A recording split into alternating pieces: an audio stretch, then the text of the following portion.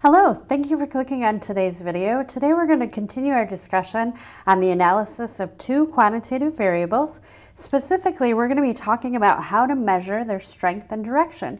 And to do that, we're using this thing called linear correlation.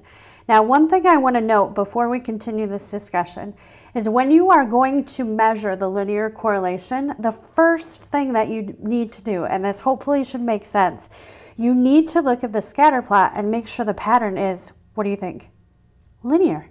So if you're going to use this, make sure you look at a scatter plot, make sure that the data that's being represented that you're about to analyze is linear, and then you can continue on with this linear correlation. Other thing to note is that linear correlation can go by other names. So there's the correlation, the notation for it is the lowercase r, so our correlation coefficient r, and then it can also be called the Pearson correlation. So here's the formula for this linear correlation. Now you can see what it's actually doing is it's going to take each observation, so that's the x sub i, and then it will subtract the mean for all of the x's. And then it's going to take all of the y observations and subtract the mean for all of the y observations. Now, fortunately, you can see how much work this formula is. We have computing packages that will do that work for us. But one thing that I want you to know is that R is going to be the information on both the strength and direction of the relationship between these two quantitative variables. So one variable being represented in the x's and then one variable being represented in the y's. That hopefully should make sense to you why we need it to be two quantitative variables because these are quantities. You can't have categorical variables in this spot. So when you talk about that correlation coefficient R, it's measuring strength and direction, but here are some of the rules connected to it. So the first thing is with the direction, it's going to be telling you if the scatter plot is going up as x increases, so as you increase on the x-axis, or it will tell you if as the x increases, if y is decreasing. So that's the direction component. So that will be connected to whether or not the um, correlation coefficient comes out with a negative or a positive. So if it's negative, this is what the scatter plot would be looking like. And if it's positive, you're seeing this type of scatter plot. Now the next thing that we have is going to be the strength. So this is one thing that really can throw people because you see a negative number, you think smaller or weaker.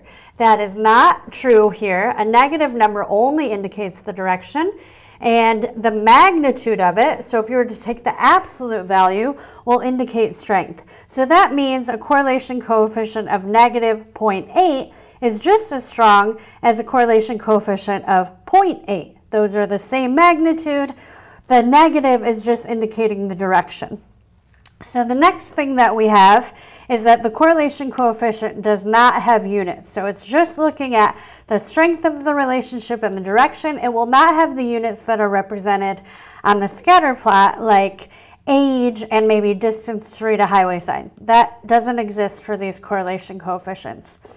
Another rule is that it has to be between negative 1 and positive 1. It will not go outside of that range. So the closer it is to either end of that spectrum, the stronger the relationship. Remember that that negative 1 is just as strong as that positive 1. The sign is indicating the direction. The next thing we have is that outliers significantly impact these correlation coefficients. So it could be that it makes it stronger if you've got a big outlier, but it's in line with the overall pattern. But if it's straying from the overall pattern, it's going to significantly negatively impact that correlation coefficient.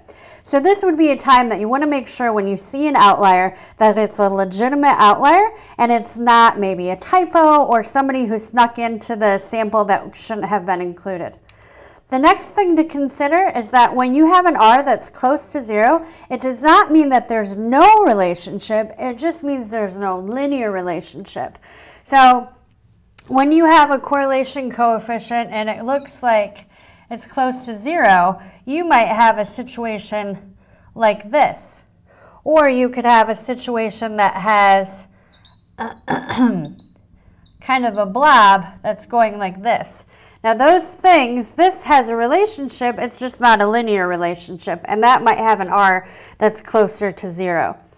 So the next thing that I want to show you is when you're looking at a scatter plot, what does it look like when you have an R of negative 1 or you have an R of positive 1? So here, this scatter plot, and here, this scatter plot, I would say that this is a perfect linear relationship which means there's no variation, and this is an R of 1.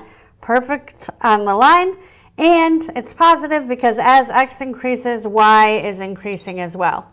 Here, this would be a perfect linear relationship, but this r would be negative 1 because as x increases, y is decreasing. So the negative is indicating the direction and the 1 is indicating that it's a perfect linear relationship.